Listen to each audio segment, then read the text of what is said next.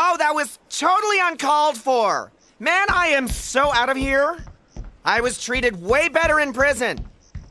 Yo, what's going on guys? It's your boy Noah here today bringing you another video. Today, I'm looking at the best winner of each season of Total Drama. As you guys know, a couple days ago, I made a video talking about the problem with alternate endings in Total Drama, and honestly guys, I do think that that is a big problem. I'm not a fan of alternate endings at all. I mean, I am a fan of the alternate endings just because like they're cool in a way, but I don't like them being potentially canon. I think that they should just pick the original as canon and then just move on with it. I could rant about that all day. I made a video on that, so if you guys want to hear me rant, go check that video out. But in this video, I'm to briefly talk about every single season and who I think deserved to win that season the most out of the two actual winners. Again, I said briefly. I could talk here all day about my favorite finalists and this and that. So instead of doing that, I just want to tell you guys who I preferred in each season. Starting off with Total Drama Island, I preferred Owen's ending over Gwen. It just felt like it was more satisfactory, I guess, if that makes sense. Like, I don't know, I just got more gratification from it than from Gwen's. Because Gwen's is just like, oh, I won, cool. Like, she didn't really seem to care care, you know? Like, she did, but at the same time, it was just kind of like, just a normal win. It was kind of boring in a way. As to where Owens, you know, he's throwing a big party and everybody's hyped in this and that. I don't know. For me, Owens was just a more feel-good moment. And then throughout the season, I just enjoyed Owen as a character more. The difference between Owen and Gwen in Island was that Gwen was very, very dependent on Trent. Like, obviously, she has more throughout her character and throughout the season after Trent, but she was in the first entire half of the season with Trent. Owen wasn't really catered to one person person. I mean, he had a thing with Izzy, but it was very short as to where Gwen, you know, like I said, was in a thing with Trent.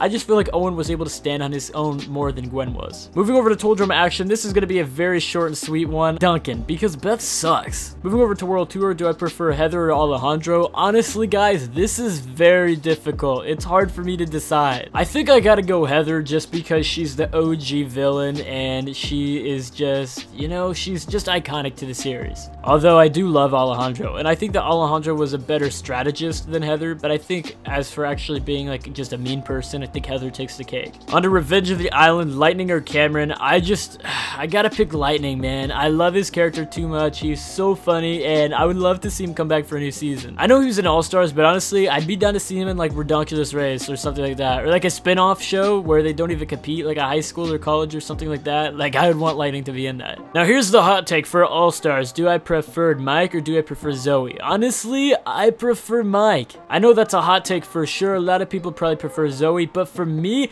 I just feel like Zoe's character in All-Stars was very Mike dependent, you know? Anytime I can ever think of a line that she said in All-Stars, it's always just her screaming Mike. Like, that was it. As to where Mike had a lot of depth to him, you know, he had the Mal storyline and everything like that, and I just, I don't know, man, I enjoyed Mike's storyline overall better than Zoe's in this season. Now we're talking about Pahkitew Island, Sean or Sky. Man, this is tough. I think that I gotta go with Sean because Sky is just too selfish, man. I know that that's something that's like shocking for me to be like, oh, they're selfish characters, I don't like them. But it's just out of those two characters, I just liked Sean more. The thing with Pahkitew Island's cast is that there weren't really a whole lot of amazing standout characters, but the one that I really think of the most is Sean. Sean, Jasmine, and Max are my three favorite from that season, and I think that Sean takes the cake in this one. Don't get me wrong, I think that Sky was a great competitor. I just felt like she was kind of boring to watch. Last but not least, Ridonculous Race. Do I prefer the cadets or the surfers? This is gonna be a hot take again, but I prefer the surfers. I'm just such a Jeff fan. I freaking love Jeff's character, so to see him come back and win a season is amazing to me. Now, don't get me wrong. If we're talking with the return, then I prefer the cadets to win. But if we have a version where the surfers don't return and then win, then I would prefer the surfers because I don't like the fact that they returned. And honestly, I'm actually gonna make a video solely on their return and the win. It's just an interesting concept that Total Drama did, and I'd like to talk about it a little bit more. See, I guess with Ridonculous Race, I'm kind of playing both sides here and giving like examples of why I would prefer either one, but I guess if I just go off of base level, I pick Jeff and Brody because I love Jeff's character a lot. But I seriously love the cadets. I think the reason why I picked the surfers over the cadets is because I love Jeff and I love Brody as to where I love MacArthur, but I like Sanders. You know, Sanders just didn't really stand out to me a whole lot, but Jeff and Brody both did. So that's why I'm picking the surfers over the cadets. But anyways, guys, it's really all I have for you in this video. I just wanted to talk to you guys a little bit about my favorite winners from each season, give you guys a little perspective, and help you pick my brain a little bit for this video, but I just wanted to do that, man. Please like the video if you did enjoy, comment down what you think of the video, and in the comments down below, let me know who your guys' preferred winners are for every single season. I'm interested to see, so let me know what you guys think in the comments down below. And if you guys haven't already, please subscribe. We are nearing 22,000 subscribers. We are only 46 subscribers away at the time of recording this video. That is nuts. I want to set a crazy goal and see if we can reach 30,000 subscribers by the end of October. I think it's definitely possible and I would love to see that. So yeah, if you guys haven't already, please subscribe. Make sure to check the description down below. You can become a member of my channel. You can use my Fortnite supporter creator code. I have my own custom matchmaking key now so we can start doing those games. That should be fun. You want to join my Discord? You want to peep who that awesome singer of the outro song is? All that stuff is in the description down below, man. So take a peep. I hope y'all have yourselves a fantastic day weekend life. Thank you guys so much for watching this video. Peace out.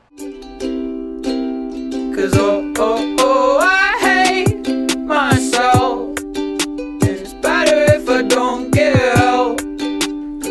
Mind's so big and my stomach's eating itself.